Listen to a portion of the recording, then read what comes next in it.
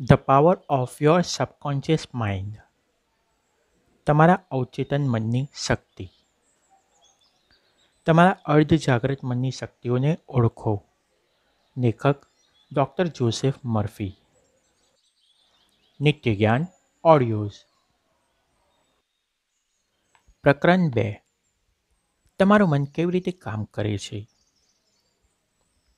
તમારું જાગૃત મન જે કાંઈ ધારણા અને માન્યતાઓને સાચી માને, તેને તમારું અર્ધ જાગૃત મન સ્વીકારી લેશે અને તે પ્રમાણે વર્તશે.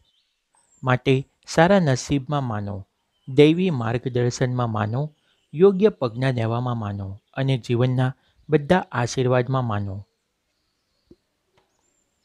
તમારું મન તમારી અમૂલ્ય જણસ છે, તે સદાય તમારા સાથે જ રહે છે, પરંતુ તેને આશ્ચર્યજનક રીતે આશ્ચર્યજનક શક્તિઓ તો ત્યારે જ તમારી બની શકશે જ્યારે તમે તે શક્તિઓનો ઉપયોગ કરતા શીખી જશો. આપણે અગાઉ જોઈ ગયા તેમ તમારા મનમાં બે સ્તર હોય છે. જાગ્રત અથવા તાર્કિક સ્તર અને અર્ધજાગ્રત અથવા અતાર્કિક સ્તર. તમે તમારા જાગ્રત મનથી વિચાર કરો છો અને તેવવશ તમે જે કાંઈ વિચારો છો તે તમારા અર્ધજાગ્રત મનમાં ઉતરી જાય છે. અને તે પછી તમારા વિચારોના લક્ષણ પ્રમાણે બહાર આવે છે. તમારું અર્ધ જાગ્રત મન તમારી લાગણીઓનું ઘર છે. તે સર્જનાત્મક મન છે. તમે સારા વિચાર કરશો તો સારું બનશે. તમે દૃષ્ટ વિચાર કરશો તો ખરાબ બનશે. આ રીતે તમારું મન કામ કરતું હોય છે. યાદ રાખવા જેવો સૌથી મહત્ત્વનો મુદ્દો આ છે. એક વખત અર્ધ જાગ્રત મન એક વિચારને કલ્પનાને સ્વીકારે. એટલે તે તેના પર અમલ કરવો શરૂ કરી દે છે. આમ આમ તો આશ્ચર્યજનક, પરંતુ મહત્ત્વનું સત્ય એ છે કે અર્ધ જાગ્રત મનનો નિયમ સારા અને ખરાબ બંને વિચારો માટે એક સરખી રીતે કામ કરે છે. આ નિયમને જો નકારાત્મક રીતે કામમાં લઈએ, તો તેનું પરિણામ નિષ્ફળતા, હતાશા અને દુઃખમાં આવે છે. જ્યારે તમે ટેવ પાડીને જો સંવાદિત અને રચનાત્મક રીતે વિચારો કરશો તો તમને સારા સ્વાસ્થ્યનો, સફળતાનો અને સમૃદ્ધિનો અનુભવ થશે. તમે સાચી અને યોગ્ય રીતે વિચારવાનું અને અનુભવવાનું શરૂ કરશો એટલે મનની શાંતિ અને તંદુરસ્ત શરીર અચૂક તમને મળશે. મનથી તમે જે ધારણા કરશો અને તેને સાચી રીતે અનુભવશો તો તમારું અર્ધ જાગ્રત મન તેને સ્વીકારી અને પછી તે વાતનો તમને અનુભવ કરાવશે. તમારે તો ફક્ત એટલું કરવાનું છે કે તમારું અર્ધ જાગ્રત મન તમારા વિચારોને સ્વીકારી લે. એક વખત આ વાત બની જશે એટલે તમારા અર્ધ જાગ્રત મનનો નિયમ, તમે ઈચ્છો તેવી તંદુરસ્તી, શાંતિ અને આબાદી તમારા ચરણમાં દાવી મૂકશે. તમારે તો હુકમ જ આપવાનો છે અને પછી તમારું અર્ધ જાગ્રત મન તમે મૂકેલી છાપને યોગ્ય સ્વરૂપમાં બહાર લાવી દેશે. તમારા મનનો નિયમ આ મુજબ છે. તમારા જાગ્રત મનમાં તમે જે વિચાર કે કલ્પનાને આકાર આપ્યો હોય છે, તે મુજબ જ તમારું અર્ધ જાગ્રત મન તેનો પ્રતિસાદ કે પ્રતિક્રિયા આપે છે. મનોવૈજ્ઞાનિક અને મનોચિકિત્સકો કહે છે કે જ્યારે આપણા અર્ધ જાગ્રત મનને વિચારો મોકલવામાં આવે છે, ત્યારે આપણા બ્રેઇન સેલ્સ ઉપર તેની છાપ પડી જાય છે. જેવું તમારું અર્ધ જાગ્રત મન કોઈપણ વિચાર સ્વીકારી લે છે, એટલે તે તરત જ તેનો અમલ શરૂ કરી દે છે. એ વિચારોની સાથે તમારું અર્ધ જાગૃત મન તમારા સમગ્ર જીવન દરમિયાન જે કાંઈ જ્ઞાન તમે મેળવ્યું હોય છે, તેનો સંપૂર્ણ ઉપયોગ કરી તમારા વર્તનનો હેતુ સ્પષ્ટ કરે છે. તમારામાં રહેલી અનંત શક્તિ અને દાહપનને બહાર લાવી દે છે. કુદરતના બધા જ નિયમોને તે એકઠા કરી દે છે. આમ બધી જ હકીકતો એકઠી કરી ક્યારેક તમારી મુશ્કેલીઓનો ત્વરિત ઉકેલ લાવી દે છે. તો ક્યારેક દિવસો અઠવાડિયાઓ કે તેથી પણ વધુ સમય લાગી જાય છે. ઉકેલ મળે નહીં ત્યાં સુધી અર્ધ જાગ્રત મન પ્રયાસો ચાલુ જ રાખે છે. જાગ્રત અને અર્ધ જાગ્રત મન વચ્ચેનો તફાવત. એક વાત ખાસ યાદ રાખજો કે જાગ્રત અને અર્ધ જાગ્રત એમ બે મન નથી. એક જ મનમાંથી થતી બે પ્રકારની ક્રિયાઓ છે. તમારું જાગ્રત મન એ તર્કથી વિચારતું મન છે. તે મનનો એક હિસ્સો છે જે પસંદગી કરે છે. દાખલા તરીકે તમે તમારા પુસ્તકો પસંદ કરો છો, તમારું નિવાસ સ્થાન પસંદ કરો છો અને તમારા જીવનસાથીને પસંદ કરો છો. આ બધી પસંદગીના નિર્ણયો તમે તમારા જાગ્રત મનથી લો છો. બીજી તરફ, કોઈ જાગ્રત પસંદગી વગર તમારું હૃદય તો આપોઆપ કામ કરતું હોય છે અને શરીરના અગત્યના કાર્યો જેવા કે પાચન ક્રિયા લોહીનું પરિભ્રમણ અને શ્વાસોચ્છ્વાસ, એ તો તમારું અર્ધજાગ્રત મન, જાગ્રત મનથી સ્વતંત્ર રહીને કર્યા કરતું હોય છે. તમારું અર્ધજાગ્રત મન તેના ઉપર જે છાપ પડે તેને સ્વીકારી લે છે. અથવા તમે જે જાગ્રત રીતે માનો છો તે સ્વીકારી લે છે. તમારા જાગ્રત મનની જેમ જ. તે કોઈ પણ વાતની દલીલ નથી કરતું અને તમારી સાથે કોઈ વાત વિવાદ નથી કરતું. તમારા અર્ધજાગ્રત મન એક જમીન જેવું છે, જે સારા કે નસરા દરેક પ્રકારના બીજનો સ્વીકાર કરે છે. નકારાત્મક, વિનાશક વિચારો તમારા અર્ધજાગ્રત મનમાં નકારાત્મક રીતે કામ કરશે. વહેલા કે મોડા, તે સૌ તેમના ગુણધર્મ પ્રમાણે આકાર લેશે બીજી વાત યાદ રાખજો કે તમારું અર્ધજાગ્રત મન એ વાત સાબિત કરવા નહીં જ બેસે કે તમારા વિચારો સારા કે ખરાબ, સાચા કે ખોટા. તે તો તમારા વિચાર અને સૂચનોના લક્ષણો પ્રમાણે વર્તશે. દાખલા તરીકે તમે જાગ્રત રહીને માની લો કે કશીક વાત સાચી છે. ભલે પછી તે ખોટી હોય, તમારું અર્ધ જાગ્રત મન તે સાચી છે, તેમ માનીને સ્વીકાર, તેનો સ્વીકાર કરશે અને તે મુજબના પરિણામ મેળવવા આગળ વધશે. કારણ કે જાગ્રત રહીને તમે તેને સાચી માની લીધી હતી.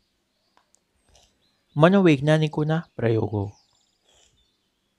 મનોવૈજ્ઞાનિકો અને બીજાઓએ એવા લોકો ઉપર અસંખ્ય પ્રયોગો કર્યા છે. જેઓ હિપ્નોટિક્સ અવસ્થામાં હોય, આ અભ્યાસે સ્પષ્ટ કર્યું છે કે અર્ધજાગ્રત મન કોઈ પસંદગી કે સરખામણી કરતું નથી, જે તર્ક પ્રક્રિયા માટે જરૂરી હોય છે. તમારું અર્ધજાગ્રત મન કોઈ પણ સૂચનો સ્વીકારી લે છે.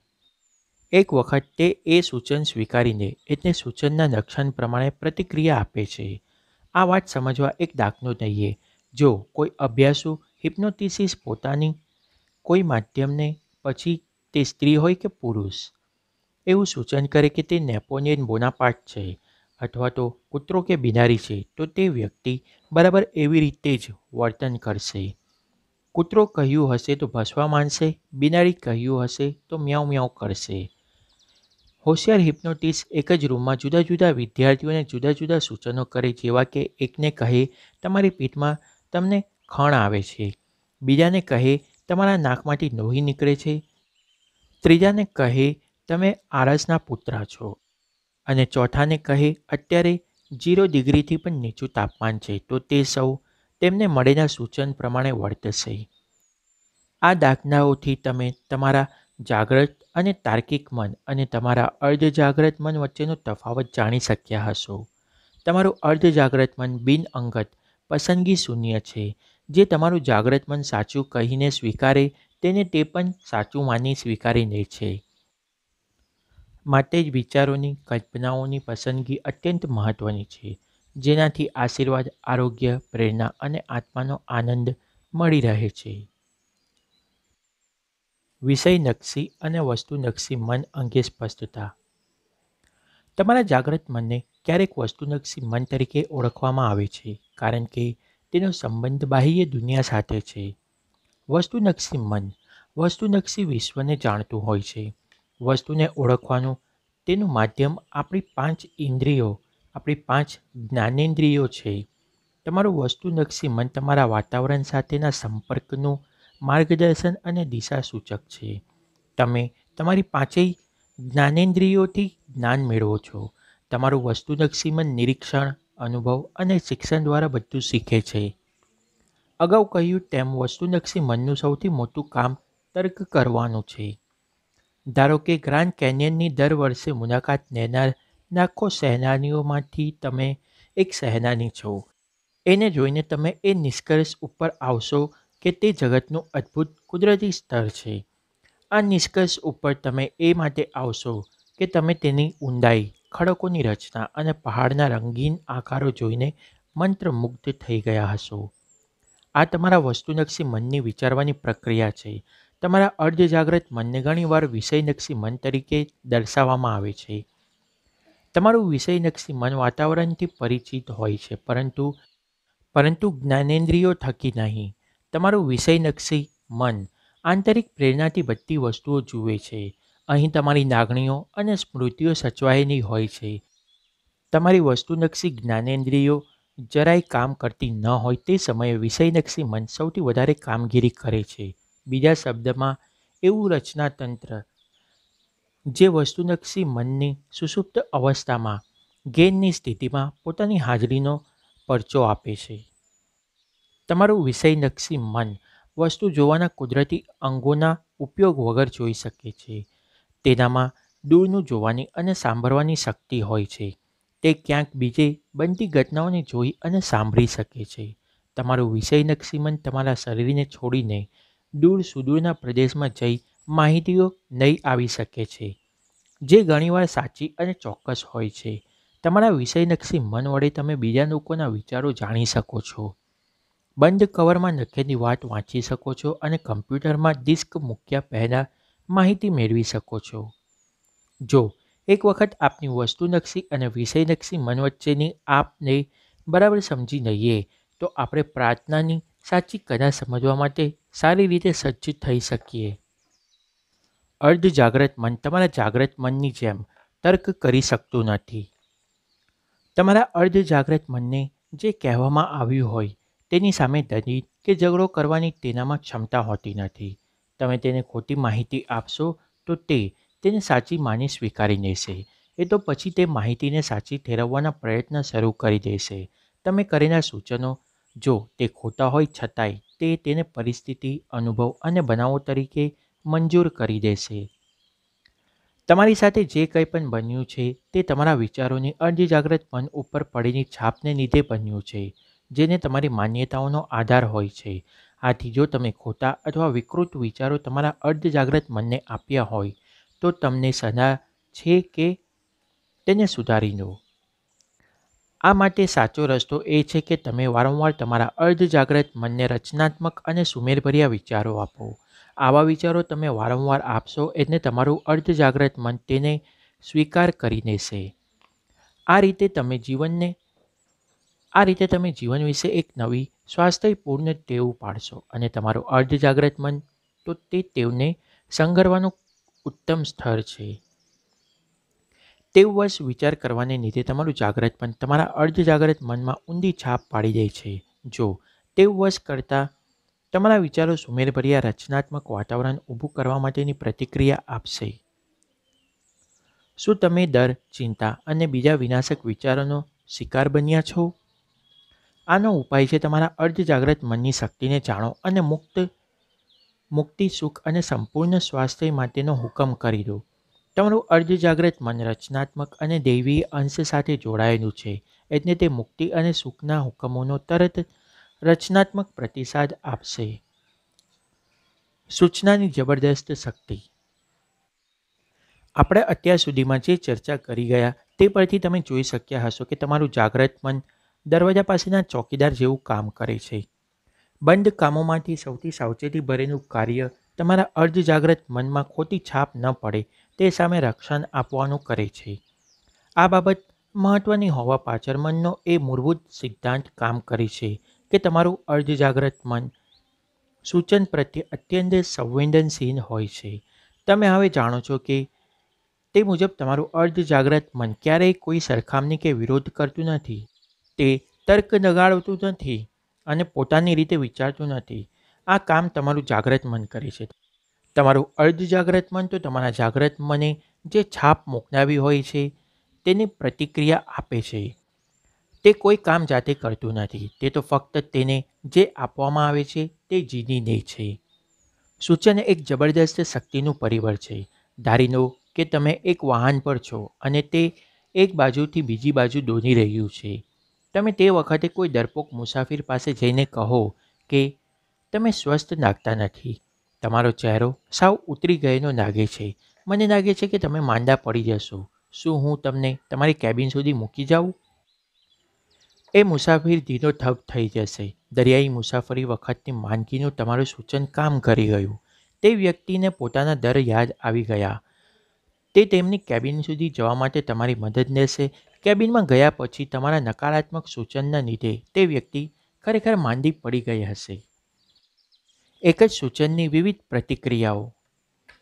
એ સમજવું જરૂરી છે કે એક જ સૂચન અથવા તો વાત અંગે અલગ અલગ લોકોની પ્રતિક્રિયા અલગ અલગ હોય છે.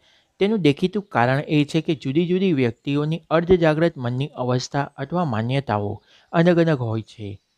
હવે ઉપરના ઉદાહરણને બીજી રીતે જોઈએ. તે વાહન પરના મુસાફરોને બદલે વાહન ચલાવનાર નાવિક પાસે જઈને કહો કે, ભાઈ, તારી તબિયત સારી લાગતી નથી. તને નથી લાગતું કે દરિયાની મુસાફરી તને હેરાન કરી રહી છે? તને સી સિકનેસ થઈ જવાની તૈયારી લાગે છે? આ નાવિકનો સ્વભાવ આખી વાતમાં અગત્યનો ભાગ ભજવે છે. એ કદાચ સહેજ હસીને તમારી વાતને ઉડાવી દેશે અથવા તમને ત્યાંથી ચાલીએ જવાનું કહેશે. તમારા સૂચનની તેના પર કોઈ અસર નહીં થાય. દરિયામાં જ સતત રહેવાને લીધે સી સિકનેસની તેને કોઈ અસર હોતી નથી અને એટલે તમારા સૂચનથી એનામાં કોઈ દર જન્મ્યો, જન્મ પામ્યો નથી. ઊંટાનો તેનો આત્મવિશ્વાસ વધી ગયો હોય છે. શબ્દકોશ પ્રમાણે સૂચન, એટલે એવી વાત કે પ્રસંગ જે તમે બીજાના મનમાં મૂકી દો છો. એ એક માનસિક પ્રક્રિયા છે, જેના દ્વારા મૂકવામાં આવેલ વિચારનો સ્વીકાર થાય છે અથવા તેની અસર થાય છે. પરંતુ યાદ રાખજો કે સૂચનને પોતાની જાતે અર્ધજાગ્રત મન પર લાદી શકાતું નથી. જાગ્રત મનની ઈચ્છા વગર તેને તેમ થઈ શકતું નથી. તમારા જાગ્રત મન પાસે એ શક્તિ હોય છે કે તે સૂચનને ફગાવી દે.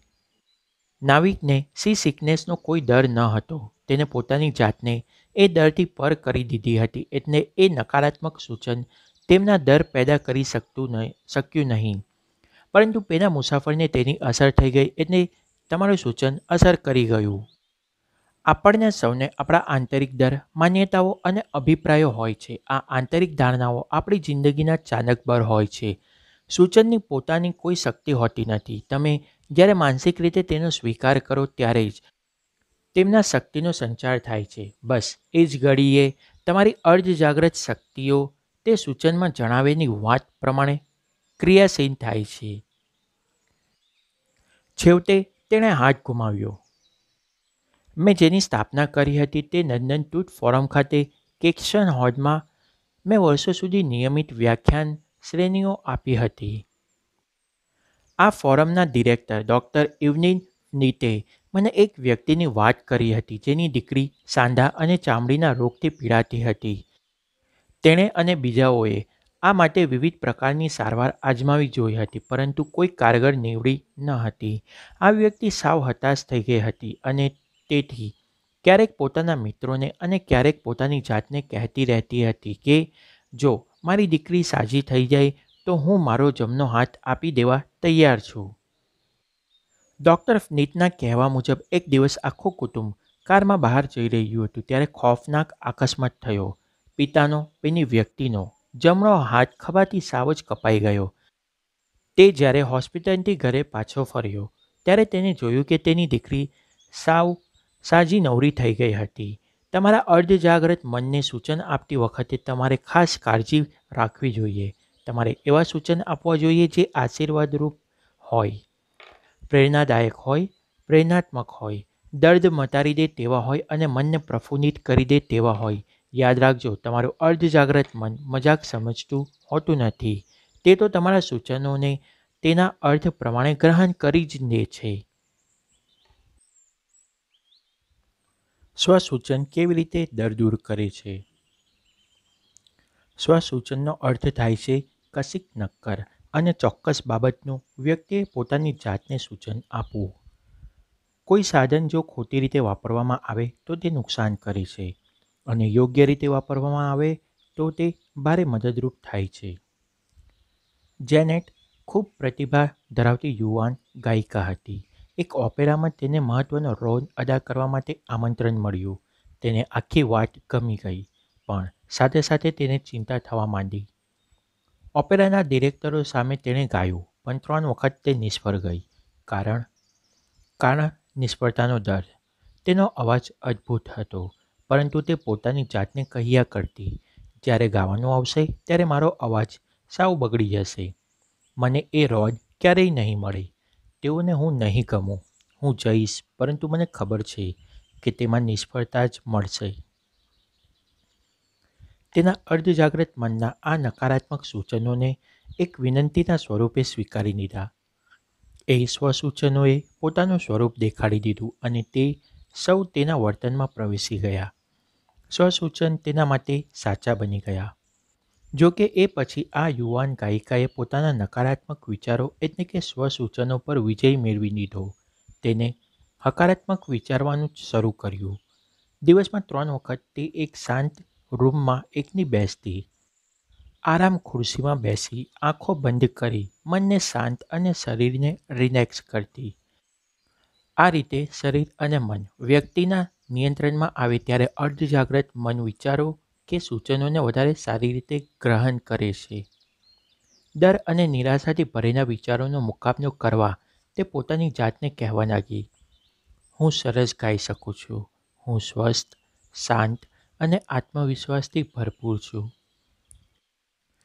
પ્રત્યેક બેઠકે તે પાંચથી દસ વખત ધીમેથી, શાંતિપૂર્વક અને પોતાને અનુભૂતિ થાય તે રીતે બોલતી. દિવસ દરમિયાન તે આવા ત્રણ સિટિંગ કરતી અને રાત્રે સૂતા પહેલાં એક સિટિંગ અચૂક કરતી. એક અઠવાડિયા પછી તે સંપૂર્ણ સ્વસ્થ બની અને તેના આત્મવિશ્વાસ આવી ગયો. નિર્ધારિત દિવસ આવ્યો ત્યારે તેણે શ્રેષ્ઠ ઓડિશન આપ્યું અને તેને ઓપેરામાં રોલ મળ્યો. તમારી વિનંતીઓ અને ઈચ્છાઓને તમારા અર્ધજાગ્રત મનને સોંપવા માટે એક ચોક્કસ યોજના બનાવવાનું શીખી જજો. ક્યારેય કહેતા નહીં, હું આ નહીં કરી શકું. પણ આ ડરને આમ બોલીને બગાડી મૂકજો. મારા અર્ધજાગ્રત મનની શક્તિથી હું બધું જ કરી શકું તેમ છું. વૃદ્ધ મહિનાએ યાદશક્તિ મજબૂત કરી. પંચોતેર વર્ષથી એક મહિનાને પોતાની સ્મરણશક્તિ ઉપર ગર્વ હતો. પરંતુ જેમ દરેકને થાય છે તેમ તે પણ કેટલીક વાતો ભૂલી જવા માંડ્યા. જો કે, તેમણે તેના પર ધ્યાન ન આપ્યું, પરંતુ ઉંમર વધતા તેમને આ વાતનો ખ્યાલ આવ્યો અને તેથી ચિંતા થવા માંડી. જ્યારે જ્યારે તે કશુંક ભૂલી જતા, ત્યારે પોતાની જાતને કહેતા, મારી ઉંમરના કારણે હું ભૂનકણી થઈ ગઈ છું. આ નકારાત્મક સૂચનોના લીધે ઘણા બધા નામો અને બનાવો ભૂનાવા નાખ્યા. સાવ હતાશ થઈ ગયા પછી અચાનક તેમને ખ્યાલ આવ્યો કે પોતે જ પોતાને નુકસાન પહોંચાડી રહ્યા છે. તેમને આખી પ્રક્રિયા ઉંટાવી નાખી. જ્યારે જ્યારે તેમના મનમાં વિચાર આવ્યો કે હું મારી સ્મૃતિ ગુમાવી રહી છું, ત્યારે ત્યારે તેમણે એ વિચારને અટકાવી દીધો. એ ઉપરાંત તેમણે આખી પ્રક્રિયા ઉંટાવી નાખી. તેણે તેમણે હકારાત્મક વિચારો કરવાનું શરૂ કર્યું અને પોતાની જાતને વારંવાર કહેવા લાગ્યા, આજથી મારી સ્મૃતિ દરરોજ સુધરતી જાય છે. હું દરેક સમય અને સ્તરે જે કાંઈ યાદ રાખવા જેવું છે તે સદાય યાદ રાખીશ. યાદ રાખવા જેવું જે કાંઈ હશે તે સ્પષ્ટ અને ચોક્કસ હશે. એટલે હું તેને સહેનાઈથી કોઈ તકલીફ વગર યાદ રાખી દઈશ. મારે જે કાંઈ ફરી યાદ કરવું રહેશે તે મારા મનમાં સાચા સ્વરૂપે આવી જ જશે. યાદદાસ્તની બાબતમાં હું રોજે રોજ સુધારો અનુભવું છું. ખૂબ જલ્દીથી મારી સ્મૃતિ પહેલાં હતી તેના કરતાં પણ સારી થઈ જશે. અને ત્રણ અઠવાડિયા પછી તેમની સ્મૃતિ નોર્મલ બની ગઈ હતી. ખરાબ સ્વભાવ ઉપર તેણે કેવી રીતે વિજય મેળવ્યો? એક ભાઈ મારી સલાહ લેવા આવ્યા હતા. તેમનું નગ્ન જીવન અને કારકિર્દી ગંભીર રીતે ગંભીર મુશ્કેલીમાં મુકાઈ ગયા હતા.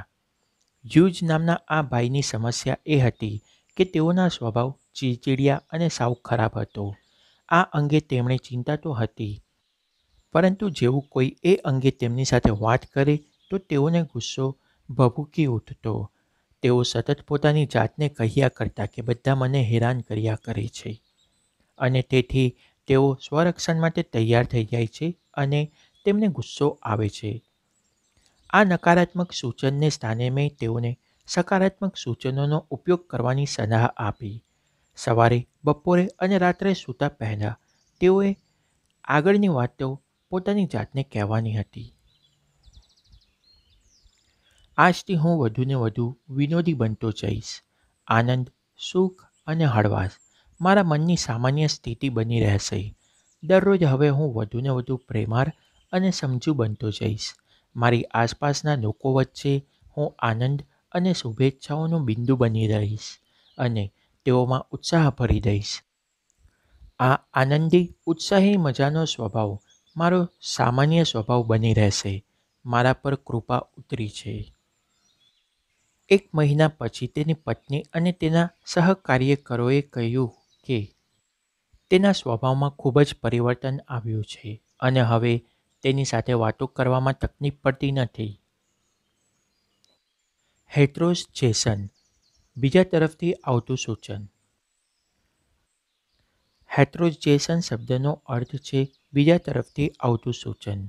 દરેક યુગમાં અને વિશ્વમાં, દરેક દેશમાં, માનવ સમુદાયના જીવન અને વિચારમાં સૂચનની શક્તિએ મહત્વનો ભાગ ભજવ્યો છે. બીજાઓના સૂચનની તાકાત વડે રાજકીય વિચારસરણીઓ ધાર્મિક માન્યતાઓ અને સાંસ્કૃતિક પરંપરાઓ ફૂની છે અને કાયમી બની છે. આપણી જાતને શિસ્તમાં લાવવી કાબૂમાં રાખવા માટે સૂચનોનો ઉપયોગ કરી શકાય છે. જો કે, તેના વડે એવા લોકોને કાબૂમાં રાખી તેમના પર હુકુમ ચલાવી શકાય છે, જેઓને મનના નિયમોની જાણ નથી. જો તેનો રચનાત્મક ઉપયોગ થાય તો તે મજાની અને અદ્ભુત વાત બની શકે છે. પરંતુ જો તેનો ખોટો ઉપયોગ થાય, તો મનમાં પ્રતિભાવોનું તે ખંડનાત્મક સ્વરૂપ બની જાય છે અને તેને પરિણામે દુઃખ, નિષ્ફળતા, પીડા, માંદગી અને અકસ્માતો સર્જાય છે. નીચે જણાવેલા નકારાત્મક સૂચનોમાંથી કોઈ પણ તમે સ્વીકાર્યા છે ખરા? આપણો જન્મ થાય તે દિવસથી આપણા ઉપર નકારાત્મક સૂચનોનો વરસાદ વરસતો હોય છે. તેનો સામનો કેવી રીતે કરવો તે ન જાણતા હોવાથી બે ધ્યાનપણે આપણે તેનો સ્વીકાર કરી લેતા હોઈએ છીએ અને પછી તે આપણા રોજિંદા અનુભવનો ભાગ બની જાય છે. અહીં નકારાત્મક સૂચનોના થોડા દાખલા આપ્યા છે. તમે નહીં કરી શકો. તમે કોઈ કામના નથી. તમારે આમ ન કરવું જોઈએ. તમે નિષ્ફળ જશો. તમારા માટે કોઈ જ તક નથી. તમે સાવ ખોટા છો. એ કશા કામનું નથી. તમે શું જાણો છો તે નહીં, તમે કોણે જાણો છો તે અગત્યનું છે. આખી દુનિયા ખાડી જવાની છે. શું કામ કશું કરવું કોઈને પડી નથી. આજની સખત મહેનત કરવાનો કોઈ અર્થ નથી. રહેવા દો હવે, તમે વૃદ્ધ થઈ ગયા છો. પરિસ્થિતિ વધુને વધુ વણસતી જાય છે. જિંદગી તો અનંત ચક્કર છે. પ્રેમ તો પંખીઓ માટેની ચીજ છે. તમે ક્યારેય જીતી નહીં શકો. ધ્યાન રાખજો, તમને ક્યાંક ભયંકર રોગ ન થઈ જાય. કોઈના પર ભરોસો મૂકી શકાય તેમ નથી. આ પ્રકારના બીજાઓએ કરેલા સૂચનો હોટ્રેસજેશન સ્વીકારવાથી તમે તેને તમારા જીવનમાં લાવી મૂકો છો. બાળપણમાં જે લોકોનું તમારા માટે મહત્ત્વ હોય તેઓના સૂચન આવે ત્યારે તમે નિરૂપાય હોવ છો.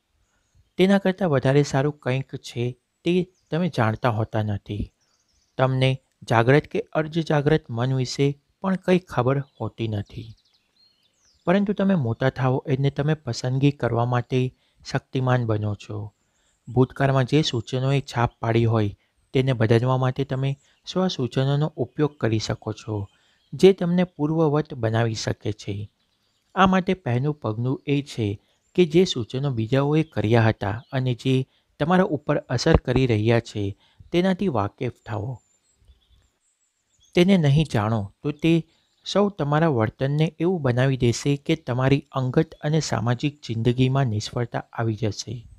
મોટા પ્રમાણમાં થયેલા નકારાત્મક સૂચનોમાંથી છુટકારો મેળવવા તમે રચનાત્મક સ્વ સૂચનોનો આશરો લેજો નહીં તો તમારી જીવનશૈલી બેડોર બની જશે અને તમે સારી તેઓ વિકસાવવામાં નિષ્ફળ જશો અથવા તે વિકસાવવાનું તમારા માટે અશક્ય બની જશે. નકારાત્મક સૂચનોનો તમે સામનો કરી શકો છો. સવારનું વર્તમાનપત્ર વાંચો કે પછી ટીવી ઉપર ન્યૂઝ સાંભળો. દરરોજ તમને દર્જનબંધ એવા સમાચારો સાંભળવા મળશે, જે નક્કામાં ચિંતા ઉપજાવે તેવા અને ભયભીત બનાવી દે તેવા હોય છે. આ સમાચારો તમારા મનમાં અજાણતા પણ સ્વીકારી લેતું હોય છે અને જીવન પ્રત્યે તમારી આસ્થા ડગમગાવી પણ દેતું હોય છે. જો કે, એક વખત તમે સમજી જાઓ છો કે તેને ન સ્વીકારવા જોઈએ, તો પસંદગીનો અવકાશ તમારી સક્ષમ ખડો થઈ જાય છે.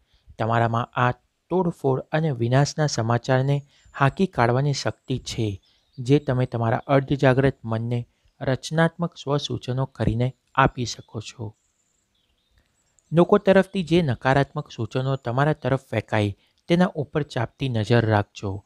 બીજાના આવા વિનાશક સૂચનોને તાબે થવું જરૂરી નથી. નાના હતા ત્યારે કે મોટા થયા ત્યાં સુધી, આપણે આ સૂચનોના શિકાર બનેલા જ છીએ. તમે ભૂતકાળ તરફ નજર નાખશો તો તમને જણાશે કે કેવી રીતે આપણા મા બાપ મિત્ર સંબંધીઓ, શિક્ષકો અને સહકર્મીઓએ આપણા ઉપર નકારાત્મક સૂચનોનો મારો ચલાવ્યો હતો. શાંતિથી જો તમે આ સૂચનોનો અભ્યાસ કરશો તો જણાશે કે તેમાં એક પ્રકારના પ્રચાર સિવાય કશું નહોતું. તેનો હેતુ ફક્ત અને ફક્ત દર ફેલાવી તમારા પર કબજો લેવાનો જ કે તમારા ઉપર કાબૂ જમાવવાનો જ હતો. અને છે. દરેક ઘર, ઓફિસ, ફેક્ટરી અને ક્લબમાં બીજા લોકો તરફથી સૂચનો થતા જ રહે છે.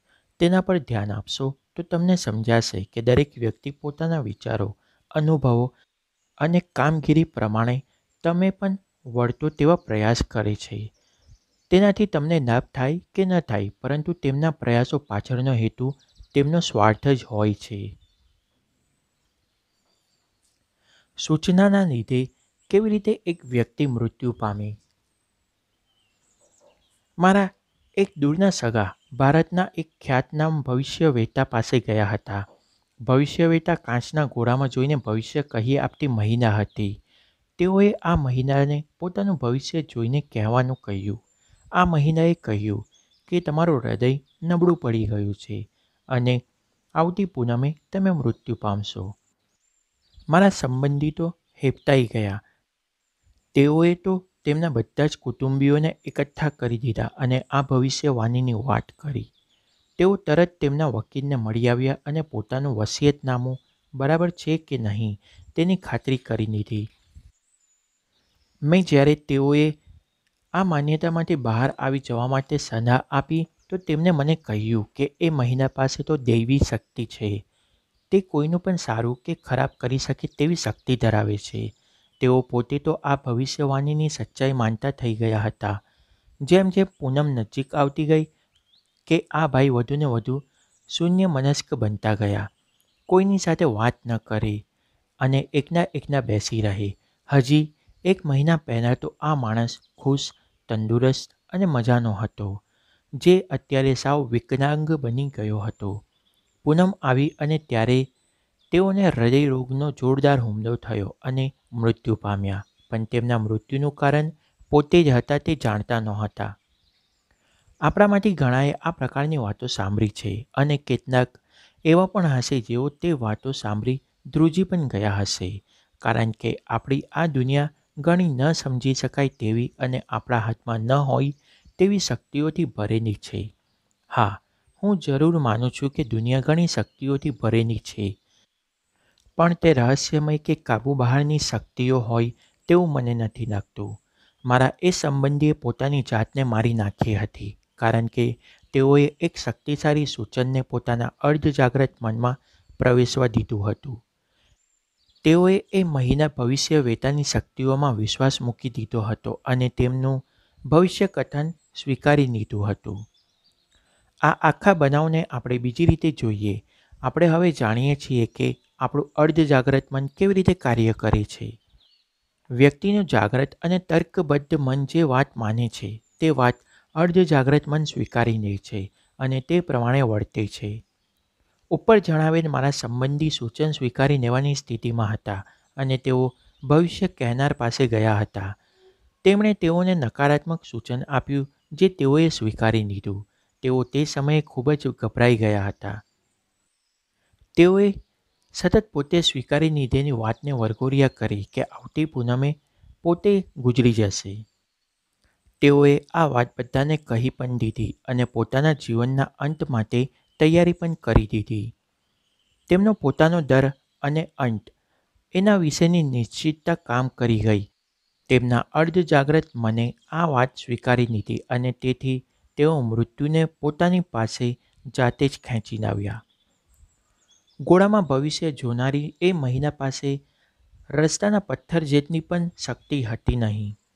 તેના સૂચનમાં તેણે ભાખેના મૃત્યુની આગાહીને સાચી પાડવાની શક્તિ ન હતી.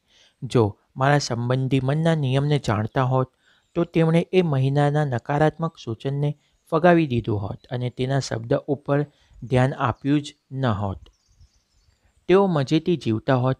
એ જ્ઞાન સાથે કે તેઓની જિંદગીનું ચાલકબાર તેમના વિચાર અને લાગણીઓ છે. તેઓ એ મહિનાના સૂચનને પોતાને કોઈ પણ નુકસાન ન થાય તે રીતે તટસ્થતાપૂર્વક ફગાવી દઈ શક્યા હોત. જે રીતે એક રબર બોર્ડ લોખંડના પતરા સાથે ભટકાઈને પાછો આવે તે રીતે.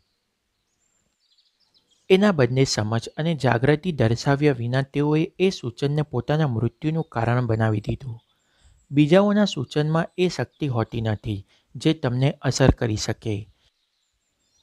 તેમનામાં જે તાકાત આવે છે એ તમે વિચાર દ્વારા તેમને તમારા મનમાં પ્રવેશવાની રજા આપો છો ત્યારે આવે છે. તમારે તેઓને માનસિક રજા આપવાની હોય છે કે તેઓ તમારા મનમાં પ્રવેશે કે નહીં. તમારે તે સૂચનના વિચારને સ્વીકારી આવકારવાનો હોય છે. બસ તે પછી તે તમારો વિચાર બની જાય છે અને તમારું અર્ધજાગ્રત મન તેને અસ્તિત્વમાં લાવી દે છે. યાદ રાખો, તમારામાં પસંદગી કરવાની ક્ષમતા છે. જિંદગી પસંદ કરો. પ્રેમ અનુરાગને પસંદ કરો. સ્વાસ્થ્ય તંદુરસ્તીને પસંદ કરો. અગાઉથી ધારેલી મોટી વાતનું વચન. પ્રાચીન ગ્રીક ફિલસૂફ અને તર્કશાસ્ત્રીઓએ સંકલિત તર્ક સિનોજિસમ પ્રકારના તર્કનો અભ્યાસ કર્યો હતો. આપણું મન આ પ્રકારના સંકલિત તર્ક પ્રમાણે તર્ક કરે છે. સંકલિત તર્ક એટલે એ પ્રકારની ત્રણ દલીલો જેમાં પહેલી બે દલીલો ફોર્મ તૈયાર કરે અને ત્રીજી દલીલ નિવેડો લાવે વ્યવહારિક રીતે સમજવું હોય તો એમ કહી શકાય કે જે અગાઉથી ધારેલી મોટી વાત આપણું જાગ્રત મન સાચી માની લે છે. તેના ઉપરથી આપણું અર્ધજાગ્રત મન તેને છેવટની માની લે છે. પછી તે પ્રશ્ન અને સમસ્યા બંનેને ગમે તે હોય. જો તમારું પ્લેટફોર્મ સાચું હશે તો છેવટની વાત પણ સાચી હશે જ. દાખલા તરીકે, આકાર ધરાવતી દરેક વસ્તુ બદલાય છે અને અંત પામે છે. ઇજિપ્તના પિરામિડો આકાર ધરાવતી વસ્તુઓ છે. માટે પિરામિડો બદલાશે અને અંત પામશે. બીજો દાખલો દરેક ગુણ વખાણવા લાયક હોય છે. દયાભાવ એ ગુણ છે. માટે દયાભાવ વખાણવા લાયક છે. આ બંને દાખલાઓમાં પહેલું વાક્ય મુખ્ય અને સાચું પ્લેટફોર્મ બને છે. અને સાચું પ્લેટફોર્મ સાચો નિવાડો એટલે કે અંત દર્શાવે છે. હું એક કોલેજના પ્રોફેસરને જાણું છું જેમને મારી મનનું વિજ્ઞાન નામની વ્યાખ્યાન શ્રેણીમાં સાંભળી હતી. પાછળથી તેઓ મને મળવા આવ્યા હતા. અને તેઓએ મને કહ્યું કે, મારી જિંદગીની બધી જ વાતો ઊંધી ચત્તી થઈ ગઈ છે. મેં તંદુરસ્તી, સંપત્તિ અને મિત્રો ગુમાવી દીધા છે. જે કોઈ વાતમાં હું પડું છું, તે ઊંધી જ પડે છે. મેં તેઓને સમજાવ્યું કે તમારી સમસ્યાઓ તાર્કિક રીતે સીધી જ તમારી ખોટી અને જાતને તોડી પાડતી ધારણાઓનું પરિણામ છે. જો તેમના જીવનને બદલવું હશે, તો તેમને વિચારસરણીમાં નવી ધારણાઓને સ્થાપવી પડશે. તેમણે એ વાતનો સ્વીકાર કરવાની જરૂર છે કે તેમના અર્ધજાગ્રત મનનું રચના તંત્ર જ તેઓની માર્ગદર્શક શક્તિ છે અને તે જ તેઓને આધ્યાત્મિક રીતે, માનસિક રીતે અને ભૌતિક રીતે આબાદ કરી શકે તેમ છે. જો એક વખત તેઓ આ રીતે વર્તશે એટલે તેમનું અર્ધજાગ્રત મન આપોઆપ તેમની પાસે વ્યવહારો નિર્ણયો નેવડાવશે, તેમના શરીરને સ્વસ્થ રાખશે અને તેમના મનમાં પરમ શાંતિ લાવી દેશે. તે પછી આ પ્રોફેસરે પોતાને કેવી રીતે, કેવી જિંદગી જોઈએ, તેનું એક સર્વાગ્રહી ચિત્ર બનાવ્યું અને પછી નીચે મુજબની પ્રતિજ્ઞા કરી. મારી દરેક ક્રિયામાં અનંત બુદ્ધિ મને આગળ નહીં જઈ માર્ગ બતાવે છે. હું સંપૂર્ણ સ્વાસ્થ્ય ધરાવું છું અને સંવાદિતતાનો નિયમ મારા મન અને શરીરમાં કાર્યરત છે. મારી પાસે સૌંદર્ય, પ્રેમ અને શાંતિ છે. સાચા કાર્યો અને દૈવીય વ્યવસ્થાના નિયમો મારી સમગ્ર જિંદગીનું સંચાલન કરે છે. હું જાણું છું કે મારી મુખ્ય ધારણા જિંદગીના દૈવી સત્ય પર આધારિત છે અને મને ખબર છે. હું અનુભવું પણ છું અને શ્રદ્ધા પણ ધરાવું છું કે મારું અર્ધ જાગ્રત મન મારા જાગ્રત મનની વિચારધારાના જ પડઘા પાડે છે. થોડા સમય પછી તેઓએ મને તેમની પ્રગતિનો અહેવાલ મોકલ્યો હતો, જે આ પ્રમાણે હતો. મેં મારી મુખ્ય અને મોટી પ્રતિજ્ઞાનું નિવેદન દિવસમાં કેટલીક વાર ધીરેથી, શાંતિથી અને પ્રેમપૂર્વક વાંચ્યા કર્યું હતું. મને ખ્યાલ આવી ગયો હતો કે તે વાક્ય મારા અર્ધજાગ્રત મનમાં ઊંડે ને ઊંડે ઉતરતા જતા હતા. મનના નિયમો જાણતો હોવાથી મને ખાતરી હતી કે તેનું પરિણામ જરૂર આવશે. આપે મને જે મુલાકાત આપી તે માટે હું હૃદયપૂર્વક આપણો આભારી છું અને મને કહેવા દો કે મારા જીવનના બધા પાસાઓ વધુ સારી રીતે બદલાઈ રહ્યા છે. ખરેખર, તમે બતાવેલી રીત કામ કરી રહી છે. અર્ધજાગ્રત મન વિવાદાસ્પદ દલીલો કરતું નથી. તમારું અર્ધ જાગ્રત મન પૂરેપૂરું સમજુ છે. તેને બધા જ પ્રશ્નોના ઉત્તરો આવડે છે, જો કે તેને પોતાને ખબર હોતી નથી કે તે બધું જાણે છે. તે તમારી સાથે દલીલો નહીં કરે કે સામો જવાબ નહીં આપે.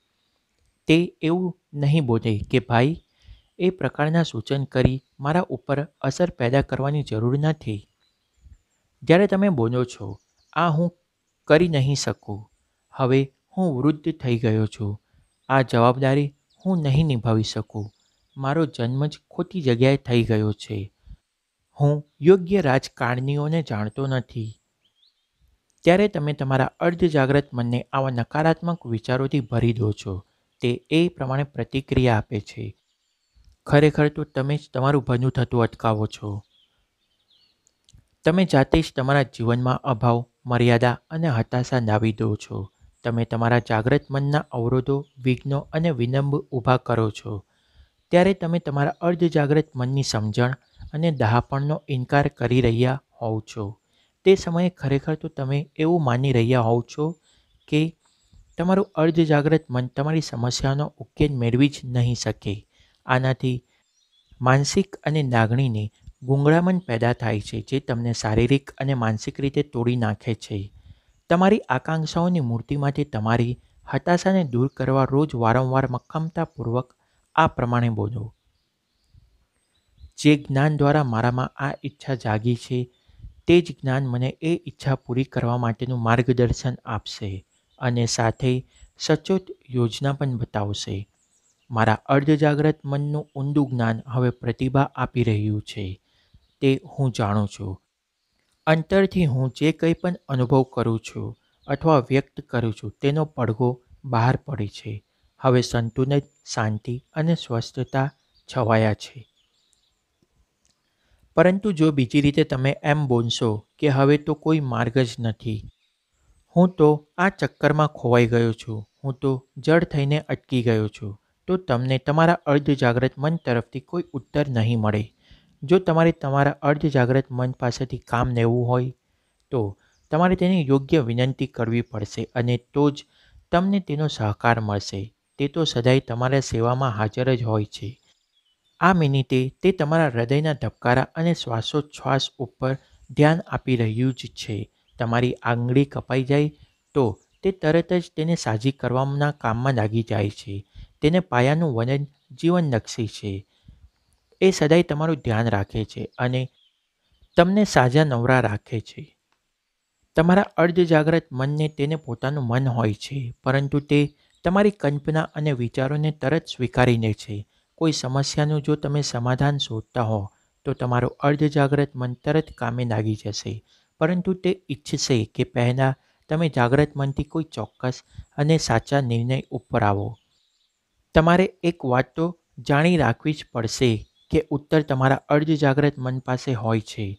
જો તમે એમ બોલો છો કે, મને લાગતું નથી કે આમાંથી કોઈ રસ્તો જડે. હું સાવ ગૂંચવાઈ ગયો છું. મને કેમ ઉપાય મળતો નથી? તો તમે તમારી માંગણીને સ્થિર બનાવી દો છો. એક સૈનિકની જેમ પગ હલાવી તમારી શક્તિ વાપરી રહ્યા છો, પરંતુ આગે કૂચ કરતા નથી. તમારા મનમાં વિચારોને સ્થિર કરી દો, શાંત થાઓ અને તેને આ રીતે આગળ વધવા દો. મારા અર્ધ જાગ્રત મનને ઉત્તરની ખબર છે. તે અત્યારે જ મને પ્રતિસાદ આપી રહ્યું છે. હું તેનો ઋણી છું, કારણ કે મને જાણ છે કે મારા અર્ધજાગ્રત મનની અનંત બુદ્ધિ બધું જ જાણે છે અને તે મને મારી સમસ્યાઓના ઉત્તર આપી રહ્યું છે. મારી ખરી માન્યતાઓ હવે મારા અર્ધજાગ્રત મનની મહાન શક્તિઓ મુક્ત કરી રહી છે અને તે એ પ્રમાણે છે તેનો મને આનંદ છે. યાદ રાખવા જેવા વિચારો. એક, સારા વિચાર કરશો તો સારું બનશે. ખરાબ વિચાર કરશો તો ખરાબ બનશે. આખા દિવસ દરમિયાન તમે જેવા વિચાર કરો છો તેવા હોવ છો. બે, તમારું અર્ધ જાગ્રત મન તમારી સાથે દલીલ કરતું નથી. તમારું જાગ્રત મન જે નક્કી કરે છે, તેનો તે સ્વીકાર કરે છે. જો તમે એમ બોલશો કે આ મને ન પોસાય, તો તમારું અર્ધ જાગ્રત મન તે વાત સાચી પાડવા માટે કામ કરશે. માટે હંમેશા ઉમદા વિચાર કરો. વિશ્વાસપૂર્વક કહો, હું તે ખરીદીશ. હું મનથી તે નક્કી કરું છું. ત્રણ તમારામાં પસંદગી કરવાની ક્ષમતા છે. માટે સારા સ્વાસ્થ્ય અને સુખની પસંદગી કરો. તમે મૈત્રી પસંદ કરી શકો છો અથવા દુશ્મનાવટ માટે હંમેશા સહકાર, આનંદ મૈત્રી ભાવ પ્રેમને પસંદ કરો અને જુઓ, આખું વિશ્વ તેનો પડઘો પાડે છે કે નહીં? મજાનું વ્યક્તિત્વ ખીનાવવાનો આ શ્રેષ્ઠ માર્ગ છે. ચાર. તમારું જાગ્રત મન. દરવાજે ઊભેલો ચોકીદાર છે. તેનું મુખ્ય કામ તમારા અર્ધજાગ્રત મનને ખોટી અસરો સામે રક્ષણ આપવાનું છે. કશુંક સારું બનાવવાનું છે. એવું માનો અને જુઓ, તે તત્કાર બને છે કે નહીં? પસંદગી કરવાની તમારી શક્તિ એ જ તમારી સૌથી મોટી તાકાત છે. તમે કઈ રીતે પ્રતિસાદ આપશો તે પસંદ કરવાની શક્તિ તમારી પાસે જ છે. પાંચ. બીજાના સૂચનો અને નિવેદનો પાસે તમને નુકસાન પહોંચાડવાની ક્ષમતા હોતી નથી. તમારા વિચારોની ગતિશીલતા એ જ ફક્ત એક શક્તિ છે. બીજાઓના સૂચનો અથવા નિવેદનોને ફગાવી દેવાની તમે પસંદગી કરી શકો છો અને જે સારું છે તે સ્વીકારો. કઈ રીતે પ્રતિભાવ આપવો તે પસંદ કરવાની સત્તા તમારી પાસે છે? છ. કંઈ પણ બોલતા પહેલાં ધ્યાન રાખો. દરેક અયોગ્ય શબ્દનો તમારે હિસાબ આપવો પડશે. ક્યારેક એવું ન બોલતા, હું નિષ્ફળ જઈશ, હું મારી નોકરી ગુમાવી દઈશ, હું ભાડું નહીં ભરી શકું. તમારું અર્ધ જાગ્રત મન મજાક સમજતું નથી. તે તો આ બધી વાતોને સાચું માનતું હોય છે. સાત, તમારું મન ખરાબ નથી. કુદરતની કોઈ પણ શક્તિ ખરાબ નથી. તમે કુદરતની શક્તિઓને કઈ રીતે ઉપયોગ કરો છો તેના ઉપર બધો આધાર છે. તમારા મનનો ઉપયોગ શુભેચ્છા આપવા, આરોગ્ય બક્ષવા, બધા લોકોને પ્રેરણા આપવા કરો અને હંમેશા તે પ્રમાણે કરો.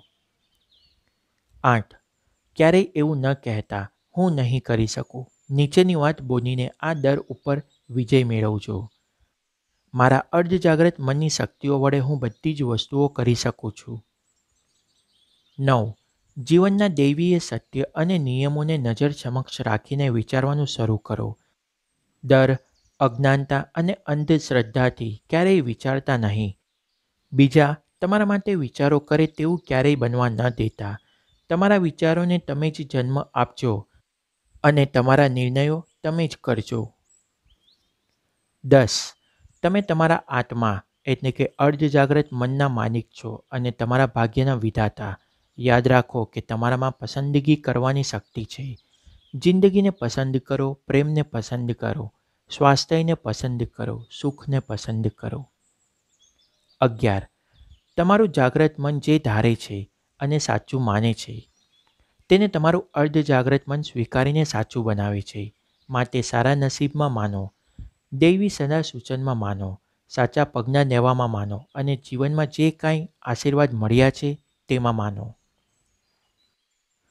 તમારા મનમાં પડેલી છબીને ઘાત આપવા તમારું અર્ધ જાગ્રત મન પ્રતિભાવ આપે છે અને તમારા માનસિક ચિત્રને પરિપૂર્ણ કરે છે. નિત્ય જ્ઞાન ઓડિયોઝ.